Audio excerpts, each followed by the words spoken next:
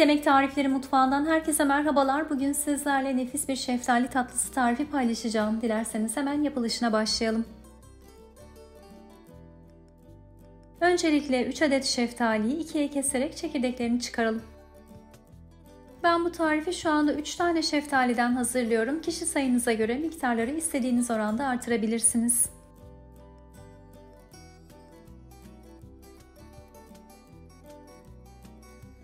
Çekirdeklerini çıkardığımız şeftalileri şimdi bir fırın tepsisine dizelim.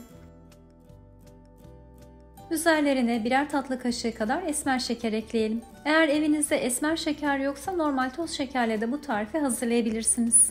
Daha sonra hoş bir aroma ve koku vermesi için üzerlerine ikişer tane karanfil ekleyelim. Önceden ısıttığımız 190 derece fırında üzeri güzelce kızarıncaya kadar şeftalileri pişmeye bırakalım. Eğer şeftaliler yumuşayıp suyunu salmadan üzeri hızlıca kızarıyorsa ısıyı biraz düşürmenizde fayda var. Sürenin sonunda yumuşayan ve üzeri güzelce kızaran şeftalilerimiz hazır. Tamamen soyuncaya kadar şeftalileri bir kenarda bekletelim.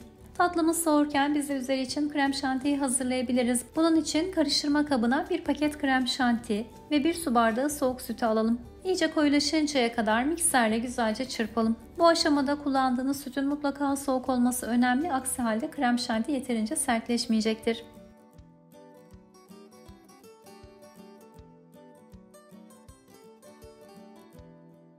Şimdi tamamen soğuyan şeftalileri servis tabağına aktaralım ve içerisindeki karanfilleri çıkaralım.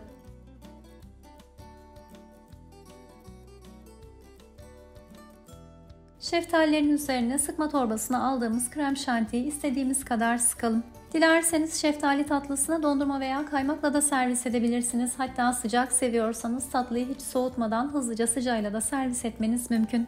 Dilediğiniz şekilde renklendirip süsleyebileceğimiz şeftali tatlımız hazır. Ben üzerlerine biraz antep fıstığı serptim ve kiraz şekerlemesi yerleştirdim. Umarım bu nefis tarifi sizler de dener ve beğenirsiniz. Yorumlarınızı, fotoğraflarınızı her zaman bekliyor olacağım. Videoyu vakit ayırıp sonuna kadar izlediğiniz için özellikle teşekkürler.